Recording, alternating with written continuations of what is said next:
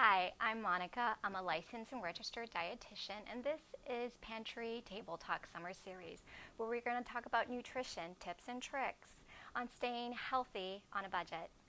Um, so, the information in this video is for educational and entertainment purposes only. For your special case, please consult your doctor and or your registered dietitian. If you have any questions, feel free to leave them in the comments. This is live, so I won't be able to answer them while we're on live, but I will follow up on the Facebook and YouTube channel. And wait to the end of the cooking demo to hear information about our Open Arms program here at Bastrop County Emergency Food Pantry. So today what we're going to be talking about is zucchini noodles. Here at the pantry, clients receive pre-packaged zucchini noodles made already for you. Zucchini is packed with vitamin A that's good for eye health and also to maintain a healthy immune system. And let's face it, we're all thinking about our immunity right now. Um, it also is packed with antioxidants. In general, antioxidants help repair the cells in the body. The antioxidants found in zucchini help the eyes, the heart, the skin, and is also might reduce the, the risk of cancers like prostate cancer.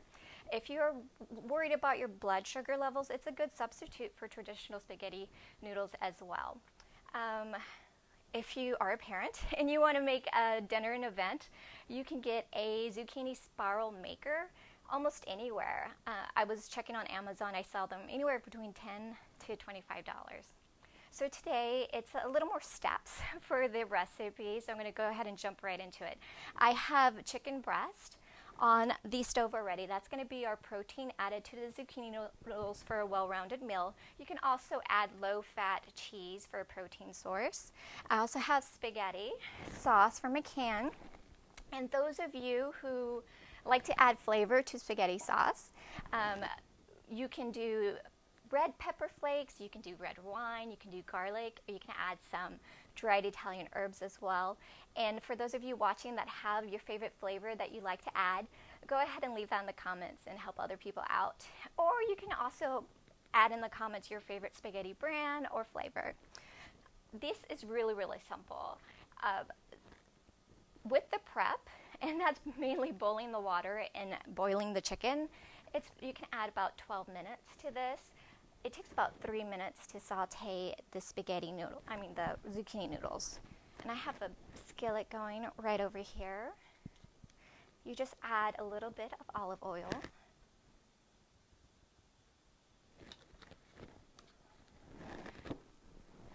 I'm going to spread this around and hopefully it doesn't make too much noise.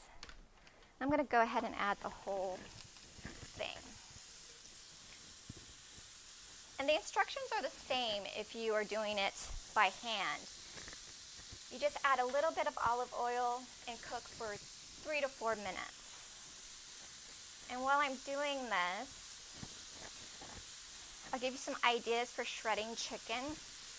Um, if you have issues with hand or wrist pain, you can use a hand mixer to shred chicken. It's not perfect, but you can do it. The trick is to get the chicken right out of the stove, out of the boiling water, and it's really hot, and then cut it into chunks. And the chunks are really, the bigger ones are more stubborn than the others. So you may have to apply a little pressure. I forgot my hand blender. I was going to bring the hand blender. And I like it, even though they're a little more expensive, because they're so versatile. You can use a hand blender to shred chicken. You can use it to make smoothies. You can use it like you would a food processor to make pico de gallo. So I'll let that going. I'm going to check on my chicken.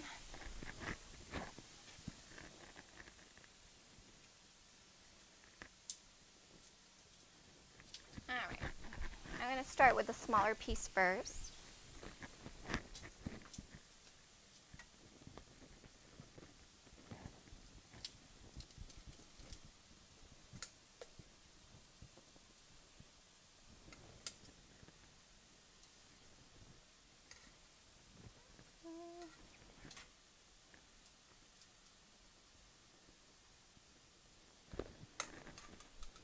I'm actually going to cut this bigger piece and smaller pieces.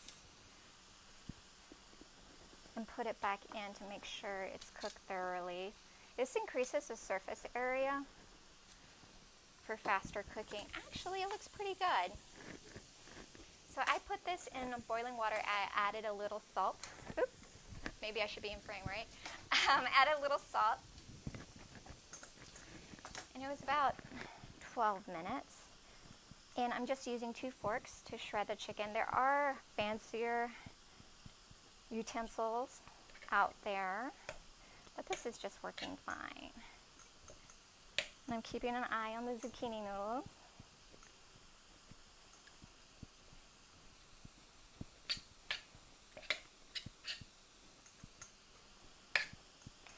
And I would actually recommend maybe a little less than 12 minutes, maybe closer to 9 minutes because it's a little rubbery.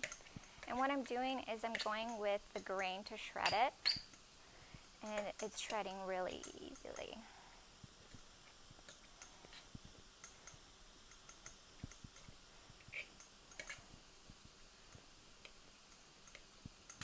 I'm going to stop and mix my zucchini noodles a little bit.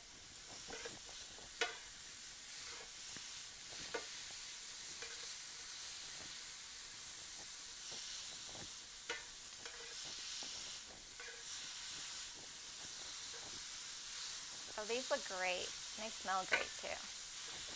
So I'm going to turn this off. And finish with the chicken.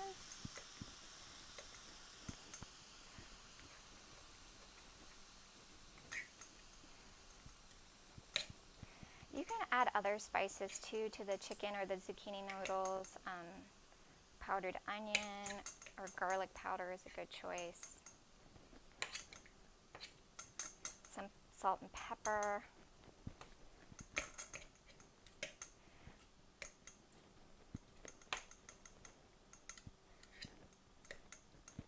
And I used a little under a pound of chicken breast. And again, you can use other protein sources.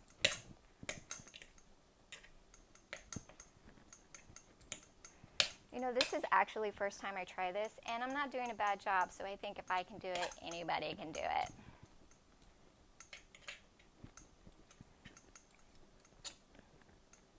And as I mentioned, you can use a hand mixer or a hand blender. If anybody has used anything else and would like to recommend that in the comments below, that would be greatly appreciated.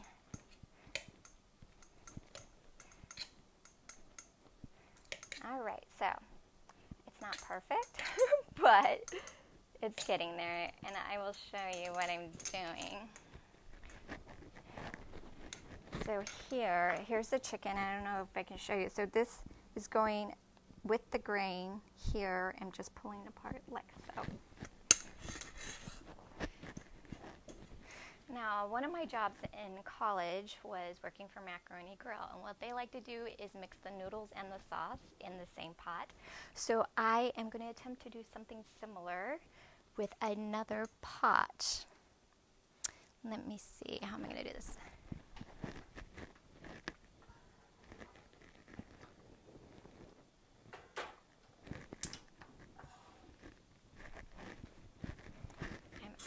Going to put use this to mix it.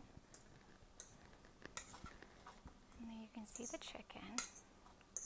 And if there's a little chicken in there, it's not a big deal.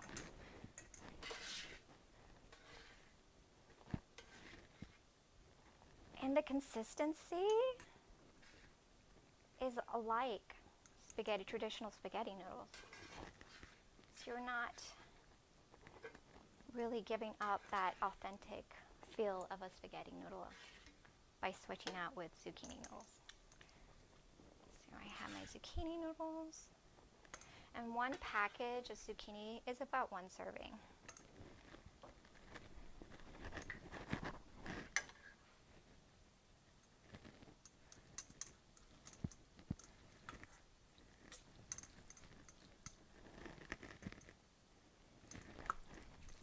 And what I'm doing today is really basic. So you can add more to this. You can add cheese to it for presentation. And the smell smells like traditional spaghetti.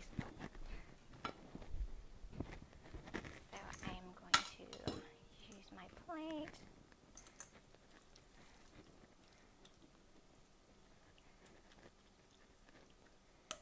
And again, very basic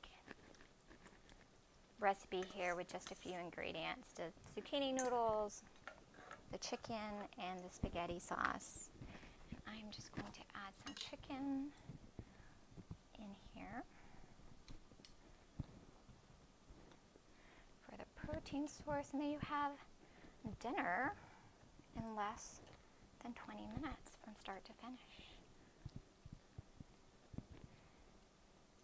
And again, you can put shredded cheese on top. You can add some parsley just for presentation.